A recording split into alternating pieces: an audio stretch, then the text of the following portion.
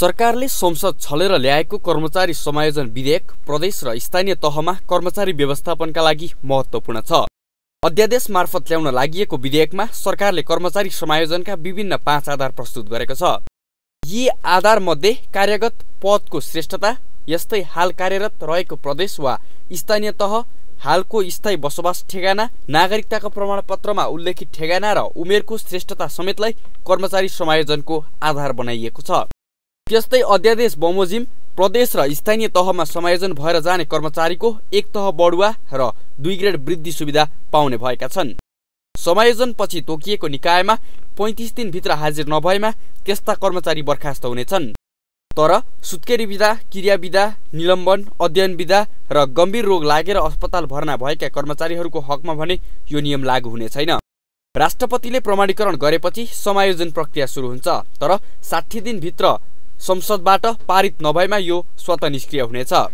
कर्मचारी समायोजन सम्बन्धी कार्यको अनुगमन गर्ने अन्तर्निकाय समन्वय गर्ने र आवश्यकता अनुसार निर्देशन दिने प्रयोजनका लागि सङ्घीय मामिला तथा सामान्य प्रशासन मन्त्रीको संयोजकत्वमा निर्देशन तथा समन्वय समिति रहने व्यवस्था समेत अध्यादेशमा गरिएको छ।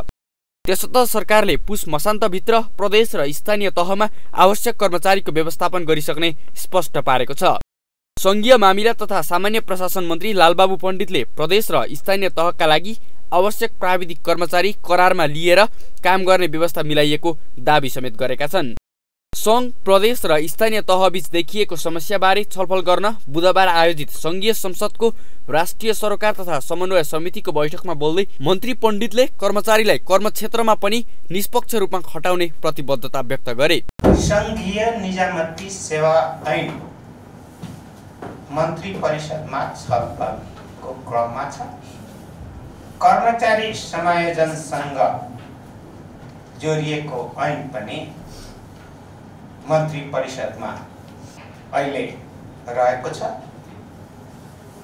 र मैले बारम्बार सरकारको तर्फबाट पुष मसान्तभित्र समायोजनको कामलाई सकेसम्म टुङ्ग्याइसक्ने गरिकनै अगाडि बढ्छ। तर अर्कोतर्फ पूर्व सचिव शारदा प्रसाद त्रितालको भने फरक भनाइ छ। निजामती क्षेत्र जस्तो संवेदनशील क्षेत्रमा हतारमा अध्यादेश मार्फत विधेयक ल्याउनु संविधान त ठिक भए पनि व्यावहारिक रूपमा उपयुक्त नभएको उनको बुझाइ छ।